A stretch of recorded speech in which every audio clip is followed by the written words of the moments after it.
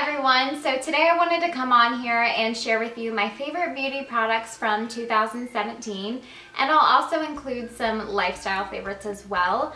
Um, I know that it's almost the end of January but I just wanted to make sure that I got this video up because these things are too good not to share. Um, these are just things that I have been loving throughout the whole year and kind of like my holy grail makeup products. So if you want to see what my favorite products are then just keep on watching. Okay, so I'm kind of just gonna go category by category. First, I'm gonna start with like my favorite face products and I'm gonna go in like the order that I would do my makeup. So as for primers, I always use a primer before I put on my foundation. I just have really oily skin, really large pores and I just find that using a primer helps my foundation stay on so much longer and it kind of minimizes the appearance of my pores. So it's super important for me to use a primer. My favorite has been my favorite for years, honestly. I'm not sure if I've shared this product with you guys in the past, but it is the Benefit POREfessional. Um, and I just buy the little mini tubes that you can get when you're checking out at Sephora because they're like a lot cheaper and uh, I just like to save money here and there. But this little thing actually lasts you quite a long time because you only need like one little drop and it covers your whole face. And a plus for this product, it smells really, really good when you put it on. And it just kind of creates a blank canvas for you to go ahead and put on your foundation. So for foundation, I have two different ones. One's kind of higher end and one's a drugstore foundation. Um, this year, I think actually at the end of 2016, I wanted to try a new foundation. And so I tried the Smashbox Studio Skin Foundation. This bottle is completely empty and it looks really weird, so I'm sorry about that, but I wanted to keep it for this video. Um, the Smashbox Studio Skin Foundation, it says 15 hour wear hydrating foundation and I am in the color 2.15. I loved this foundation. Number one, I always love when the packaging has a little pump like this. It makes the application so much easier. Um, but yeah, I just have great things to say about this foundation. I am someone who, I have very oily skin as I was telling you. And I also have a lot of redness and just uneven skin tone, breakouts from time to time that I want to cover up. So I find that this really does cover up everything really nicely. And um, the good thing about this versus the drugstore one that I'm about to show you, I just feel like it kind of makes my face look more, um, what's the word? It just makes it look more flawless. Like there's not as many imperfections on your skin, even though there really might be. This just kind of, I don't know, almost just minimizes those effects, if that makes any sense. So I really like this. I apply it with a damp beauty blender and I think it goes on really, really nicely. Um, and yeah, I just love it. I will probably repurchase this in the future, but I kind of want to try the Fenty foundation next. So let me know if you know anything about that foundation uh, and let me know in the comments. So as for my drugstore foundation, this is kind of what I used when I ran out of this. And I've always, always loved this. It's the CoverGirl 3-in-1 foundation. I think I've talked about this like for years. Um, it also has SPF 20 in it, which I'm a big fan of. Um, I'm in the color 842 medium beige. Again, CoverGirl did a great job by including a pump. I think that is a must have for a foundation. Um, but yeah, I really like this. Again, it's full coverage. The only thing that I have to say about this foundation, it does make me look a bit cakey, especially if I'm having a bad skin day. A lot of times like right through here and on my nose, it kind of looks like it starts to separate and um, I'm actually wearing it right now and it's kind of later in the day so my makeup's starting to wear off and that's the part that I noticed first. It starts to kind of break apart and um, looks a little cakey but if you are looking for something that's more affordable um, I would definitely recommend. Okay, so then for concealer, I think this one is kind of, at least everyone that I've watched, a lot of people love this concealer and I definitely know why. It is the Tarte Shape Tape Concealer. And I don't even really wear concealer every single day. I find that my foundation usually does a good job at like covering everything I need it to cover. But once in a while, I like to pop this under my under eyes just to give me some brightness, and I really love it. I have it in the color light neutral, and sometimes, you know, if I have breakouts, I'll put it on there too, and I just find that, I don't know, it's really blendable. It doesn't really crease under your eyes or anything like that. I just think it's a great formula. And um, I can't remember how much it was, if it was kind of on the more expensive side of things. Because um, I, I, know a lot of people like the NARS concealer or the Urban Decay Naked Skin or something like that. I know there's an Urban Decay one that kind of rivals this. but this one is definitely my favorite and I would totally suggest that you go check it out. Now to set all of my makeup, my favorite powder, again, I think this is kind of like a cult favorite. It is the Laura Mercier Translucent Setting Powder. This stuff is no joke. Um, I really find that, like I said, I have kind of larger pores. I feel like this really does a good job at just kind of minimizing the appearance of my pores. And it just sets everything so nicely. And once in a while, like I'll feel my skin right after I use it. And I'm like, my skin just feels so much softer. Um, and I like this because some translucent powders, you guys, I don't know if you've ever had this happen, but it's so embarrassing. So I tried the IT Cosmetics translucent powder before and I put it like, you know, I baked it under my eyes. Like that's the big thing to do nowadays. And it looked fine in person. And then I had some flash photography done at night and um, the picture was posted on the internet and I had that flashback that you can get under your eyes. And like on the picture it showed every ounce of that powder under my eyes that I looked like I just looked like a freak honestly. It was not a good look. And I had to like track down the photographer um, on the internet and try to like email him and be like hey you need to take this down immediately this was like not supposed that's not how I looked like in person basically and I was like total makeup mishap. I was seriously mortified when I saw that picture. And so I like edited it and then I was like, here, you can post this one, but take that down immediately.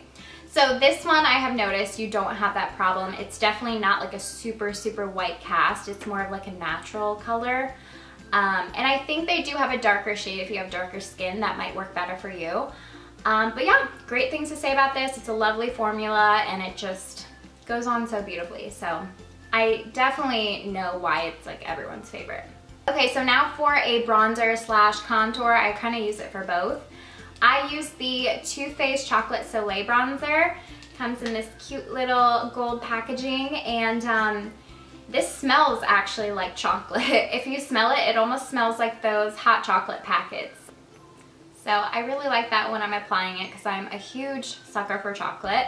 But I like this. It's not like too warm of a bronzer and it's also not too ashy, but it's really, really good for contouring because it um, it's matte. It doesn't have any like sparkles or shimmers to it. So it's kind of multi-purpose. I feel like it warms up my face really nicely, gives me some dimension. So I definitely like it. This is like my second one that I've gotten and I will continue to purchase this. And I have the color medium deep in case you're wondering. Okay, so now for blush. Blush is something that I like to switch up. You know, I have a bunch of different blush colors that I'll just kind of switch up throughout the year. This one though, I think I got this at Sephora like in the birthday gift that they give to you. It's just like a little mini Tarte blush. It's in the color Party.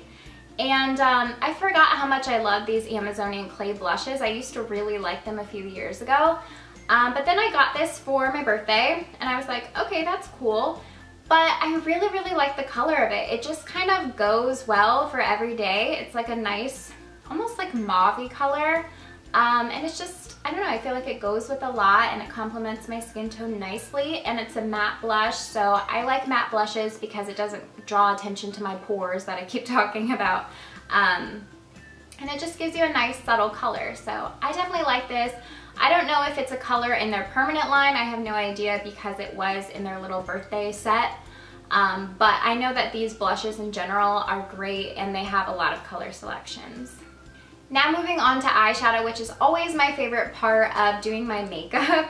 I have so many different eyeshadow palettes that it's kind of hard to choose a favorite, but one that I have definitely been grabbing like all year, I'm not even joking, I think I even used this like towards the end of 2016 as well. I've been obsessed with it ever since. And this is the Too Faced, this is the semi-sweet chocolate bar palette. So I actually have the regular chocolate bar palette, I have the sweet peach palette, and I think just those three. Um, I like them all. I really like the original one, probably just as much as this one. But I have to say that this one I have been using all year long. So whenever I'm doing like my everyday makeup or I just don't want to think about my makeup, this is what I go to. I love the color selection in this. I'll cover the mirror so I don't blind you. But I really like the color selection in this. I use a lot of the neutral colors just for everyday, obviously. There's just like a lot of good cool tone browns and warm tone browns and there's like a nice highlight color and lid color.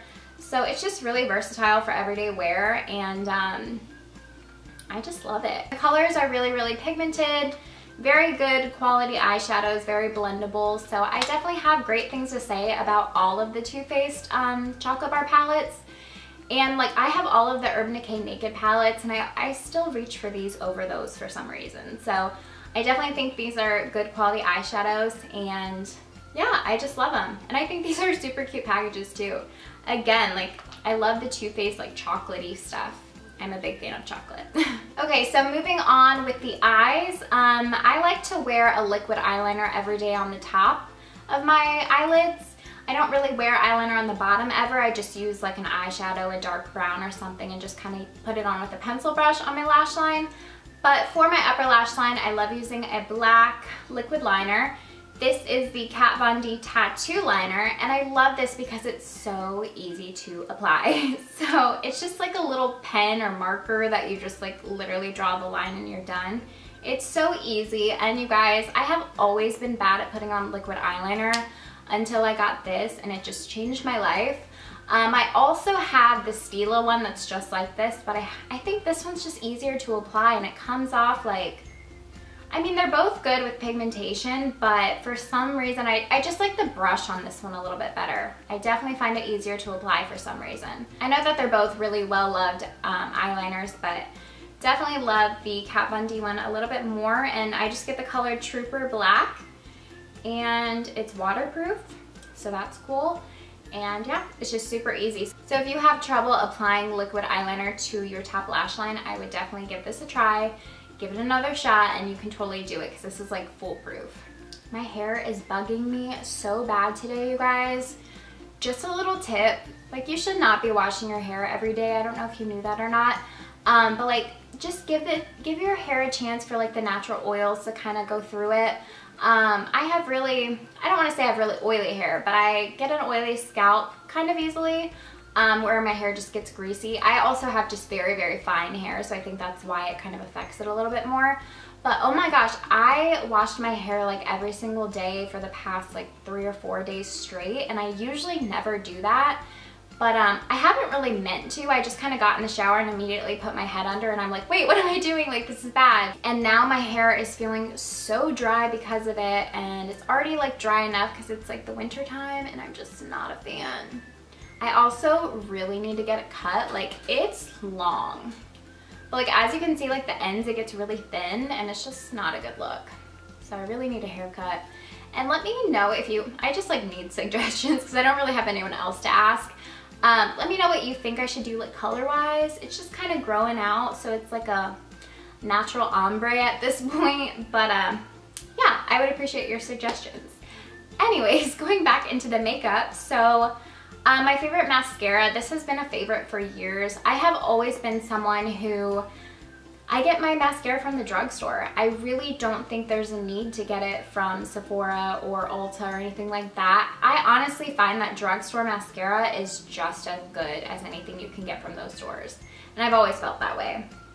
I have tried some of the like cult favorite um, mascaras and I'm just never impressed. So honestly, my favorite is just the CoverGirl Supersizer Mascara. Love this stuff. I will cry if they ever discontinue it because I don't know, it just, I don't have the longest eyelashes, first of all, um, but it does make them look nice. It makes them like separated, you know, not clumped together. It just combs through them really nicely and, uh, you know, I could make them a little bit more full if I wanted to add a couple coats. I usually don't though because I'm lazy. But yeah, I really like this stuff and I really, like a big thing for me with mascaras is just the brush, like the shape of it. And you know, it kind of depends on your eye shape. So I just find that this one works really well for me. I accidentally bought the waterproof kind instead of the regular kind last time I was at the drugstore and I was so mad because I could not get it off of my eyes one night. So I mean, if you're interested in a good waterproof mascara, I would recommend this. Um, I also just really need to get a good makeup remover because I didn't have anything and I was like, how do I get this off? But yeah, it's really good, nice and black, makes your lashes just look fuller. Now for eyebrows. so I've been having kind of an eyebrow crisis lately. Um, I feel like in my last video, my eyebrows were a hot mess. Um, if you can't tell, like one of my eyebrows is higher than the other. Like it's just my natural like shape of my face. Like the brow bone is higher. And so it always looks like my eyebrows are uneven and I, it just makes me so mad. But anyways, um, I was using just a MAC eyeshadow for my eyebrows like for the longest time. Um, but I just picked up a replacement of my Anastasia Brow Wiz. And I did use this earlier in the year, which is why I'm including it. I just ran out. Um, but I just got a new one today, and so I did my eyebrows. I think they look a little bit better, but I still need to work on them. But anyways, I love this. I feel like so many people love this. Um, it's so easy to apply. And if you apply it like with a thick hand and you make your eyebrows too crazy, I just love that it has this little brush end and you can comb it through and almost like erase what you did. Um, so I feel like it's pretty foolproof to apply for the most part. And I like the color medium brown. I just feel like it basically matches the color of my eyebrows. So yeah, I think I'll probably be using this for a really long time. Okay, so now for my second favorite category is lips. I really love doing my eyeshadow and I love putting on a lip color. So right now, I'm actually wearing this color. Um, it is the MAC lipstick in the color Velvet Teddy.